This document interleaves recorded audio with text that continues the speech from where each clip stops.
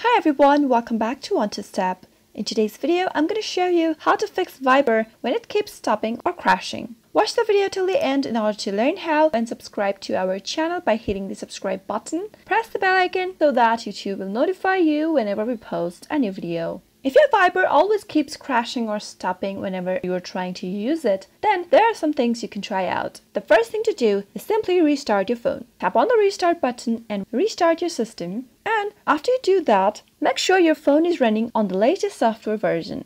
Go to the settings on your Android and from the settings menu, tap on software update. Check if there are any software update available and if there is, go ahead and update your Android to the latest software version. Once your software is up to date, go tap open your Google Play Store and search for Viber in the search box. Check if your Viber is up to date and make sure to install the latest version of Viber on your phone. Once it is, the next thing you can do is to check if your phone has a good internet connection. Whether it's a Wi-Fi or mobile data, make sure your internet is working. Even if after trying all of those fixes, your Viber is still crashing and stopping time to time, then the next thing to do is to clear the cache and data of Viber. Go to the settings on your phone and tap it on. Under settings menu, tap on apps and you'll be able to display all of the apps installed on your device. From the list of the apps, search for Viber and tap it on.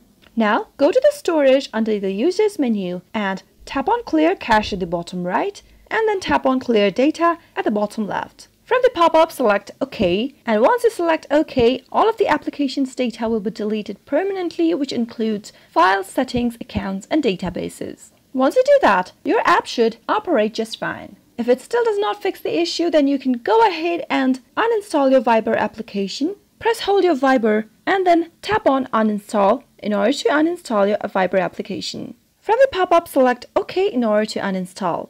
After you uninstall your application, go back to your Play Store and reinstall your application one more time. After you install a fresh version of Viber from the Google Play Store, you will successfully be able to fix the Viber keeps crashing or stopping error on your Android phone. I hope you found the video to be helpful. If you did, go ahead and give it a thumbs up, comment down below in the comment box if you have a question or a feedback for us. I'll soon be back with more tutorial episodes. Goodbye till then.